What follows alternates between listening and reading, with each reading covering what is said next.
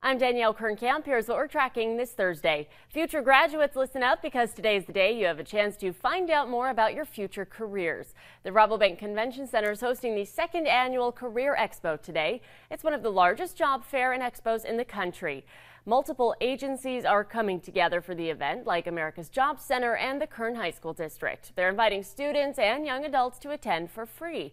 Come dressed to impress and bring plenty of copies of your resume. It's happening at Rabobank from 4.30 to 7.30 p.m. Cal State Bakersfield's taking things to the next level. The Student Recreation Center unveiled its Challenge course, which boasts a high ropes course and several others that challenge not just your body, but your spirit. It's a whopping 25 feet in the air. To put that in perspective, that's about as tall as a two-story house. Meantime, following a series of strong February storms, the Department of Water Resources is set to conduct its third water survey of 2019. Today, the department will be measuring water content in the snowpack to get an indicator on the water supply. That information is critical to the water managers who allocate California's natural water resources to regions downstream. Scheduled to take place today at 11 a.m. Now let's get a quick check of your Thursday forecast with Elena Russ.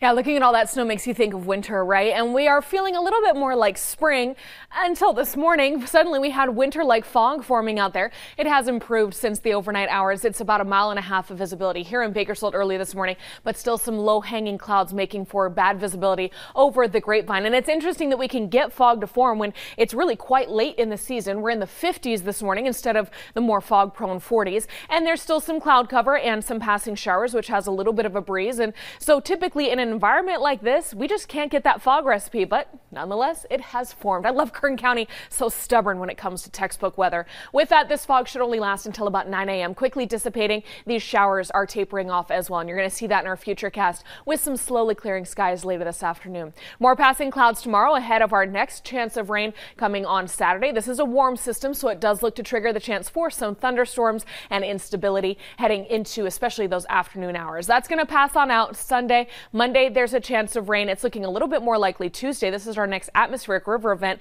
And for now, it's trying to head straight toward Kern County. So Tuesday into Wednesday does look to be wet down into Southern California. This could be a mudslide threat by early Wednesday. And then you see Wednesday into Thursday, still that chance of showers continuing until we clear out next Friday, a week from tomorrow. This is how it looks in that 10 day forecast 68 today, 67 tomorrow. Those showers on Saturday with the threat of thunderstorms. Here we are Tuesday into Wednesday, an atmospheric river type system, which does look quite wet for us, and then still some continuing showers Thursday into early Friday, clearing out Friday afternoon with some cooler air filling in behind that system and then bouncing quickly back to those 60s by next Saturday. Elena, thank you. That's going to do it for this update. Enjoy your Thursday morning.